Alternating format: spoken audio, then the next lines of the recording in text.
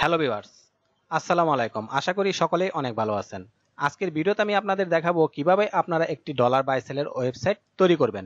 তো আপনারা যদি আমার এই পুরো ভিডিওটি মনোযোগ সহকারে দেখেন, তাহলে আপনি নিজেই একটি ডলার বাই সেলের ওয়েবসাইট তৈরি করতে পারবেন।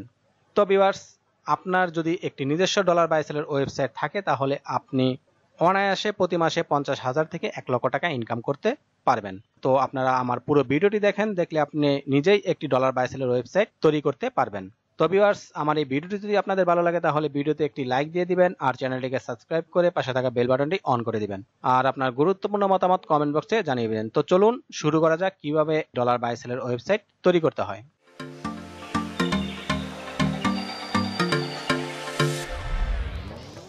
ডলার, বাইসেল অথবা এক্সচেঞ্জের জন্য ওয়েবসাইট বানাতে হলে আপনাদের যা যা লাগবে। আপনাদের একটি ডোমেন কিনতে হবে, তারপরে একটি হোস্টিং পারচেস করতে হবে, তারপরে আপনাদের এমন একটি স্ক্রিপ্ট কিনতে হবে। তো আপনারা আমার কাছ, চাইলে আমার কাছ থেকেও স্ক্রিপ্টটি কিনে নিতে পারবেন। তো আপনাদের, যাদের আগে থেকেই হোস্টিং বা ডোমেন আছে, তারা শুধু আপনারা স্ক্রিপ্টটি পারচেস করলেই হয়ে যাচ্ছে। তো আমার এই হোস্টিংটি কিনে আছে একটি ডোমেন কিনে আছে, আমার এই এই ডোমেনটির মধ্যে এখন দেখুন এখানে ফাঁকা, এখানে আমি আমার স্ক্রিপ্টটি আমি ইনস্টল করে আপনাদের দেখাবো। তো স্ক্রিপ্টটি ইনস্টল করার জন্য আমাকে আমার হোস্টিংয়ে যেতে হবে। হোস্টিংয়ে এসে সি প্যানেলে আসতে হবে। সি প্যানেলে এসে এখানে দেখুন ফাইল ম্যানেজার যে ফোল্ডারটি আছে, এই ফোল্ডারটি ওপেন করতে হবে। ফাইল ম্যানেজার ফোল্ডারটি ওপেন করার পরে আপনারা এখানে দেখুন যে পাবলিক এসটিএমএল যে লেখাটি আছে, এখানে আপনারা ডবল ক্লিক করে এই ফোল্ডারটি ওপেন করে নেবেন। ওপেন করলে বিয়ার্স দেখুন, এখানে এখন এমটি আছে। তো ওই স্ক্রিপ্টটি আমাকে এখানে আপলোড করতে হবে। আপলোড করার জন্য এখানে আপলোড যে লেখাটি দেখতে পাচ্ছেন, এখানে ক্লিক করে দিতে হবে। আপলোড লেখার উপরে ক্লিক করার পরে ভিউয়ার্স এখান থেকে আপনারা সিলেক্ট ফাইল এই বাটনে ক্লিক করে আপনারা ফাইলটি এখানে নিয়ে আসতে পারেন। তাছাড়া আপনারা এখান থেকে ফাইলটি ধরে এখানে ছেড়ে দিলেও এখানে ফাইলটি চলে আসবে। তো ভিউয়ার্স দেখুন, এখানে ফাইলটি আপলোড হচ্ছে। তো এই এই বারটা যখন সবুজ হয়ে যাবে সবুজ হয়ে গেছে, তো এখন আমাদের ফাইলটি কমপ্লিট হয়ে গেছে আপলোড কমপ্লিট হয়ে গেছে। তো আপলোড কমপ্লিট হয়ে যাওয়ার পরে এখানে, এই যে গো ব্যাক যে লেখাটি আছে, এখানে ক্লিক করতে হবে।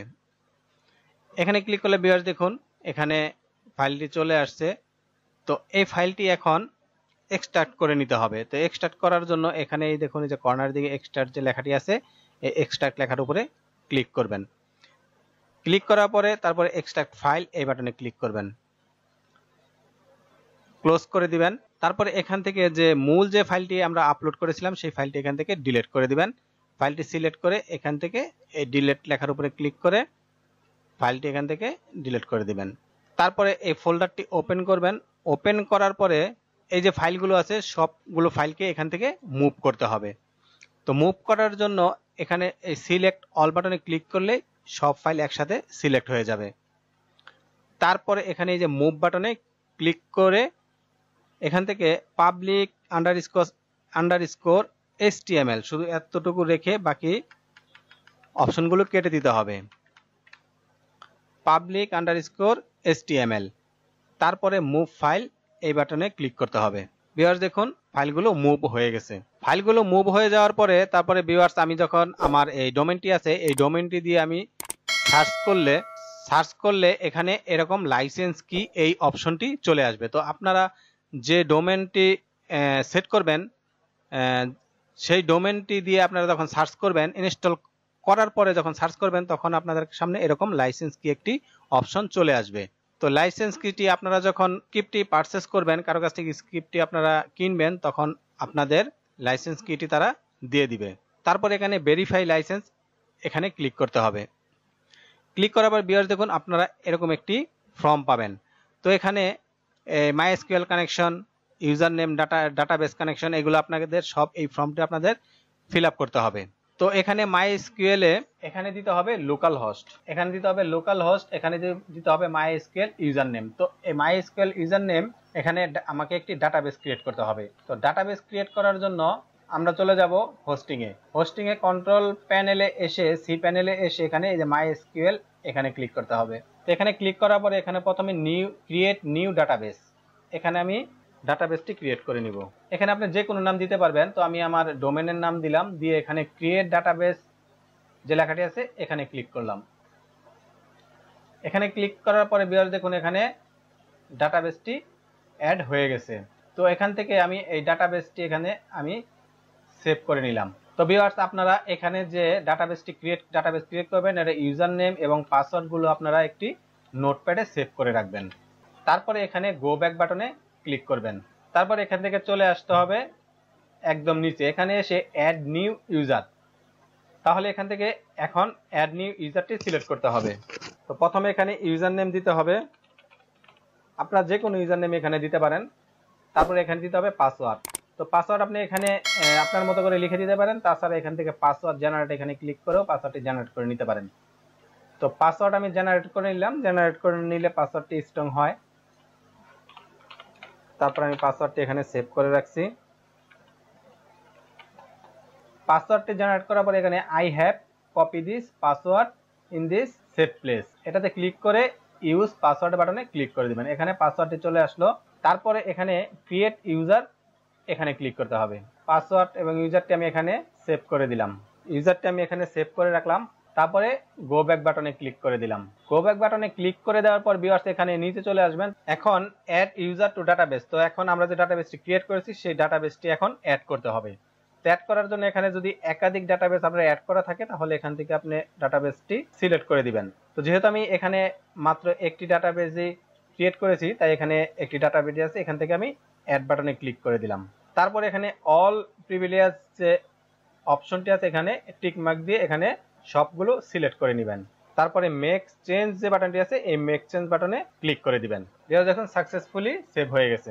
তারপরে ডাটাবেস ক্রিয়েট হওয়ার পরে আমরা আবার চলে আসলাম সেই পেজে এখানে এসে এখন এখানে মাই এসকিউএল ইউজার নেমটি এখানে দিতে হবে। তো আমরা যে ইউজার নেম এবং পাসওয়ার্ডটি সেভ করে রেখেছিলাম, সেই ইউজার নেম পাসওয়ার্ডটি এখন এখান থেকে কপি করে দিয়ে দিব।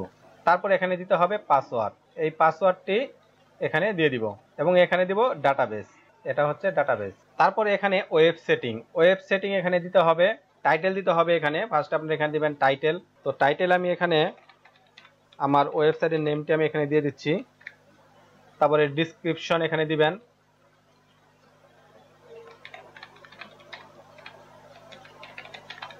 আপনারা এখানে আপনাদের মতো করে দিয়ে দেবেন। তো আমি এখানে আমার মতো করে দিয়ে দিলাম। আপনারা এখানে আপনাদের মতো করে যা খুশি এখানে আপনাদের পছন্দ অনুযায়ী আপনারা এখানে দিয়ে দিতে পারবেন।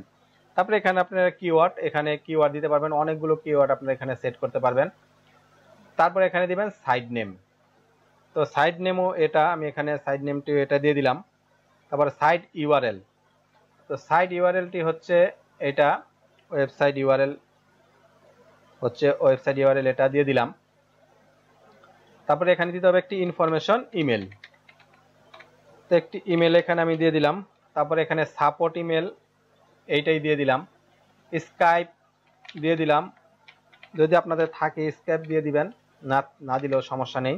হোয়াটসঅ্যাপ এখানে রেফারেল কমিশন যে এখানে রেফারেল কমিশন আপনার অ্যাকাউন্টের মধ্যে রেফারেল সিস্টেম থাকবে। সেই রেফারেল কমিশন আপনার এখানে কত পার্সেন্ট দিবেন, সেটা আপনার এখানে দিয়ে দিবেন।